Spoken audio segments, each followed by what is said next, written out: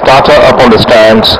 Star is orders and away they jump out. Almost a level start by all the contenders and refusing to raise a fluent gallop is a debutant Halifax who is settling large distance behind the runners and sorting themselves out. Rose Eternal shoots into the lead by about three parts to the good of Ruby's gift showing some urgency.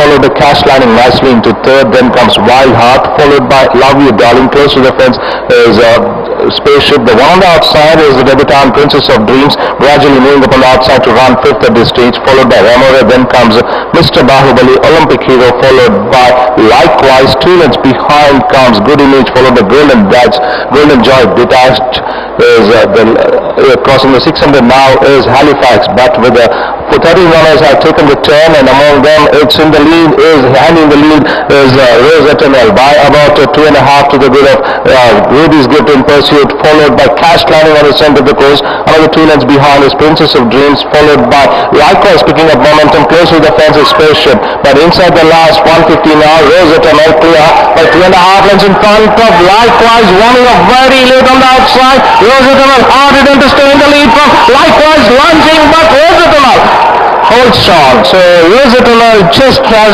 won it by after the of the fast finishing likewise. Followed then by Ruby's Gift Spaceship